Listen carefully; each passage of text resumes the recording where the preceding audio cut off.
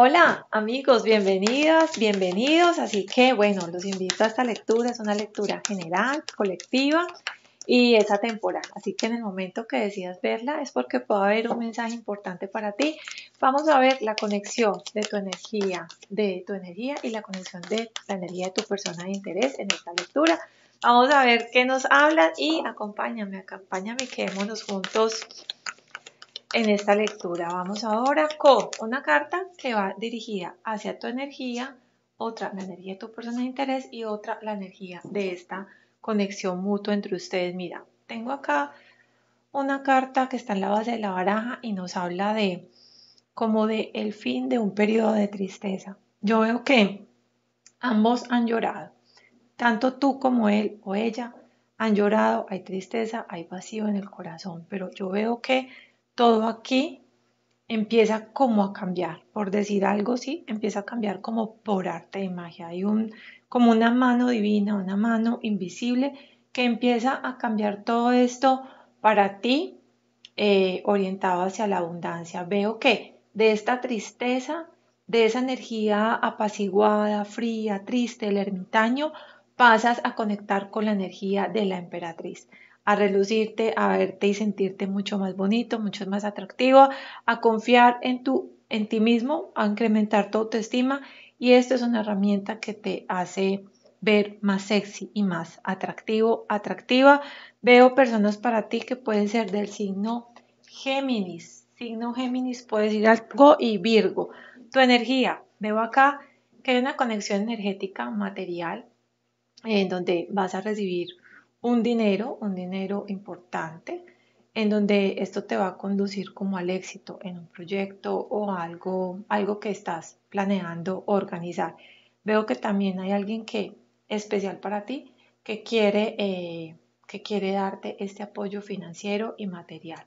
En la energía de, de tu persona de interés vemos la conexión del 9 y 1, 10, que es un fin de un ciclo en donde esta persona te piensa mucho, demasiado, puedo decir que tarde, día y noche piensa en ti y está reflexionando mucho acerca de la conexión que quiere tener contigo. Esta energía de conexión también es otra frecuencia del número 10, 6 y 4, 10. Nos habla de que quiere mostrarse, mira, esto es lo que tanto medita, quiere mostrarse hacia ti claro, nítido, transparente, con propuestas claras, sin enredos, sin rodeos, para ir a llevar a un nuevo ciclo, conexión de la energía de los enamorados, te hablaba de esa energía de Géminis y también la siento como de Tauro, una persona que no quiere perderte, que quiere cuidarte, que quiere, la siento como muy codependiente hacia ti a nivel emocional, pero que quiere darte lo mejor y con una propuesta clara, sincera y firme hacia ti. Virgo también muy presente en esta lectura de la energía de esa persona. Vamos a mirar ahora sí con el tarot, vamos a ver qué nos dice, eh, qué hay en tu mente, en la mente de esta persona, en el corazón. Vamos a mirar qué más nos dicen por aquí. Bueno,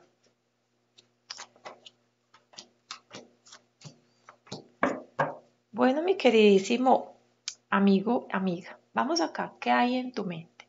En tu mente yo veo que hay un deseo por trabajar, eh, por darle estabilidad a tu vida. Te veo muy fuerte, te veo muy fuerte, una energía como muy aireana. Puede ser que tú seas de signo Aries o de Tauro, los puedas tener en el ascendente aunque simplemente estamos hablando de energías. Tu mente en este momento, independientemente del signo que tú seas, eh, te veo con ese propósito de organizarte a nivel económico y también a nivel laboral y sentimental. Y veo para ti una propuesta económica que tiene que ver con eh, cómo ser un jefe, cómo liderar un proceso y esto va a repercutir en ti en el aumento de tus ingresos, ingresos en donde te van a servir para estas nuevas propuestas que quieres hacer en relación a conseguirte tu vivienda, tu propia casa, iniciar tu proyecto. Hay alguien con mucho poder que te quiere ayudar en términos laborales y yo veo que estás esperando eso, pero también esperas pacientemente en el amor, en el amor, energía de esta personita Géminis, la siento como alguien que quiere venir a hablar contigo y convencerte. Vamos a ver qué hay en la mente de esta persona. ¿Recuerdas ahora que te dije que percibía una conexión tuya, que ya después de tanto dolor, que después de este dolor, te venías a conectar con la energía de la emperatriz, que te ibas a ver mucho más sexy, sensual y que tu inteligencia iba a ser tu mayor atractivo, pues mira, tú estás en la mente de esta persona así, así, atractiva, sensual, o sea, has dado un cambio total y esta persona a veces, mira, yo lo que veo es que piensa en proponerte tener hijos, eh, le encanta la forma en que atiendes y cuidas a los demás. Piensa y dice, yo siento que tú, tú que me estás viendo en este momento, eres la persona que me puede cuidar, que me puede mimar, que puede estar pendiente de mí. Esto lo está pensando con mucha cabeza fría y está pensando en venir a decirlo, a comunicarle, a comunicarte y decirte, mira, me encantas, me fascinas y yo quiero esto contigo así te lo va a proponer, eso es lo que veo, pero yo veo, yo siento acá que hay como dudas de tu parte, que tú sientes a esta persona como transitoria en tu vida, como que tú quieres algo estable, pero pues esta persona como que solamente hasta el momento está encantado por tu belleza, pero como que no quiere ofrecerte como, como, o sea, como que quiere tenerte, yo voy y me divierto, me divierto un rato contigo. Vamos a ver qué hay en tu corazón. Mira, tu corazón ha esperado, incluso te ha sentido un poco sacrificado, sacrificada en el amor a nivel sentimental. Y yo veo acá que hay alguien que regresa, puede ser una amistad de tu pasado, de tu infancia, de tu adolescencia, la cual digamos que tú en alguna medida estabas esperando, como que tú recuerdas y es tan rico que pasaba yo con esta persona, tan bueno como nos divertíamos, como compartíamos, como como que jugábamos. Hay un anhelo en tu corazón y yo también veo que aquí este sacrificio, tú estás muy meditativo, con un cambio de ideas que estás en este momento. Dice, yo tengo que desechar muchas ideas y poder avanzar. Yo también percibo aquí estás trabajando mucho tu corazón, has estado haciendo un proceso de perdón y esto va a abrir posibilidades a que atraigas una alma, llama gemela, diferente a esta persona de la que estoy hablando acá, ¿sí?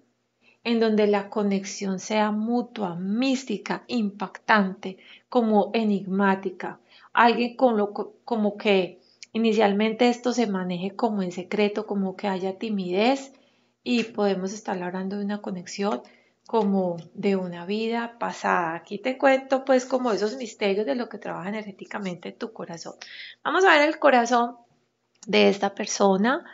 Pues mira, yo veo acá que esta persona se está sintiendo muy solo, muy sola, porque finalmente no es que tú vayas a herir el corazón, ¿sí? Sino que Así como esta persona te, tú percibes que te está tomando como un juego, que te dice cosas bonitas cuando está contigo y cuando no se va, pues esta personita está aquí como se siente muy solo, muy solitario, no es feliz si no está contigo, o sea, si no te tiene, digamos que es como un amor egoísta, sí, que piensa en él o en ella, yo quiero tenerte solo cuando yo quiera ir. Y obviamente voy a ser feliz si te tengo. Si no te tengo, pues soy infeliz. Yo estoy viendo acá como una mentalidad como narcisista, como ególatra. Podríamos estar hablando acá que esta persona podría ser un signo de, de Leo. Eh, también la percibo a veces Tauro, Tauro, Acuario. Vamos a ver acá que los une a ustedes. Mira, tenemos esta carta en esa unión, que finalmente aquí no hay unión, ¿sí? Lo que, lo que te decía que tú percibías, que, esto puede ser algo transitorio y que lo debes manejar con diplomacia, no involucrarte en los sentimientos porque esta persona como que no es de fiar. Tú sientes que no es de fiar. Solamente los une el hecho de que cuando esta persona quiere venir a verte, tú siempre le vas a estar esperando con deseos de organizarte, pero digamos que esta persona en cierta medida juega con, con tus sentimientos y que finalmente pues va a beber de su propia medicina y se va a sentir derrotado, ¿sí? Le va a llegar su torre y ya finalmente no va a saber qué hacer. Vamos a ver qué los une, qué, qué los separa, perdón, qué los separa. Vamos a ver acá. Eh, aquí veo que no hay un deseo de, de compartir, ¿sí? Aquí los separa, digamos, como esa ausencia del perdón. Esta persona quiere venir a pedirte perdón por, haber no, no haberte tenido en cuenta, por pedirte perdón por haberte despreciado en algún momento. Le dice, mira, yo sin ti no puedo ser feliz. Y yo veo acá que es esa tendencia. Tú le dices, no, mira, ya conmigo ya se acabó yo estoy mirando hacia otro lugar.